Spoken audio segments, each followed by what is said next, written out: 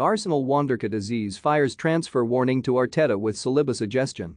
William Saliba has flourished from having another full season of competitive football under his belt, and the Frenchman's choices appear to have caught the eye of Arsenal's youngster Miguel Azeez.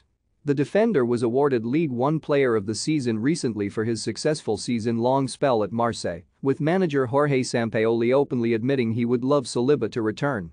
But reports have circulated that Gunners boss Mikel Arteta's plans for next season include the central defender. Saliba's time out on loan has certainly solidified his claims as to why he should be an Arsenal regular, unwilling to sit on the bench at the Emirates Stadium hoping that an opportunity for him to impress would arise. And that attitude appears to have rubbed off on exciting prospect Azeez. The 19-year-old has revealed that he wants to spend a season out on loan next season. The midfielder told The Athletic I want to play the whole season in senior football. Wherever that is, that's the main goal. This season, I wanted to improve the defensive side of my game, whether it's competing in 50-50s or second balls. It was about me going out of my way to do extra stuff after training with one of the assistants. Him kicking the ball randomly and me judging where the ball will land to pick up seconds. There was a mixture of analysis with coaches and me actually going out and practicing myself. I also wanted to improve my goal involvement, goals and assists, I've done that steadily, but there's still more to come. Azeez evidently has the attitude and aspirations of a player willing to go the extra mile to reach the very top, so he will certainly feel that his loan spell at Portsmouth earlier this season underwhelmed. He made just five appearances in League One and was swiftly recalled by Arsenal after realizing he may improve further back at the club.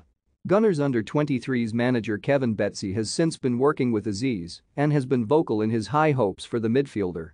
He told Football. London in terms of Miguel he came back having not had a fantastic experience at Portsmouth in terms of game time, but a really good learning one for him, so for him, it was about getting him up to match speed.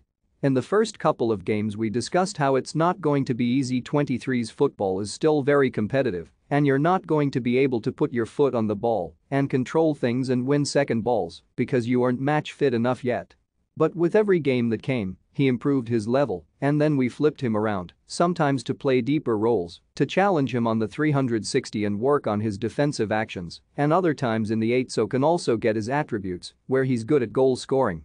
Arteta has often given young talents a chance to impress in the first team, but Azeez is a adamants on going out on loan will suggest that the Arsenal faithful won't see their exciting prospect for another campaign. It remains to be seen whether the player gets his wish of a move and just how successful he will be as a result.